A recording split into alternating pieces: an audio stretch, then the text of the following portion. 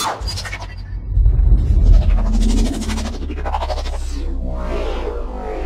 said, uh, very nice. My name is Bort. I'm bringing you a new motherfucking competitive Call of Duty breakdown. I haven't did one of these in a while, so I'm gonna go ahead. I'm, I've been meaning to do this one for a while. It's just been sat in there, and I've also, I think, I found a way to to fix my laptop where I can now render re-render videos again.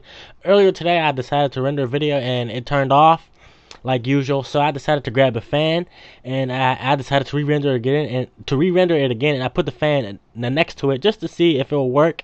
And and and the laptop did not turn off. The video fully rendered successfully.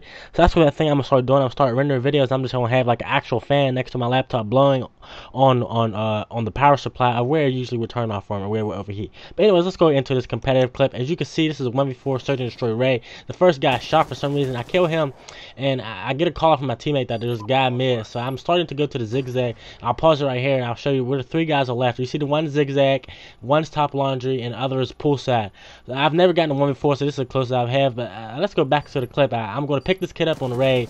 Now I know I know there's going to be of your kid pool, so I'm going to start to go over to the pool. I see him top there, so I'm just going to chill and play with my gun a little bit. I outgun him, and now I'm left to 1v1. Now in this situation right here, my uh, my teammates are telling me to. Uh, to uh, rush this kid top bedroom. But my my idea is not to rush him. I'm trying to climb up from the outside to try to catch him on guard, off guard. See, I, I wasn't gonna listen to every. I just I should have listened, but every time I've listened to my teammates before, I've always died. And here's where I failed my jump, and it ended up costing me the round. So this was the easy one v four. I I failed myself, and, and, I couldn't hit the jump. I kept climbing from upside.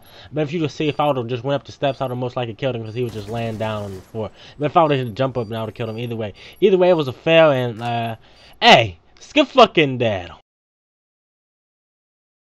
Wait a minute. Before you guys go on screen is a little video where I've uh, I've been uploading of my team known as Admiral. We've been scrimming some top Call of Duty amateur teams. I would like you guys to check that out. And uh, tomorrow I will be making a video about uh, what's been going on with my team situation and the new organization we represent. I'll talk to you guys later.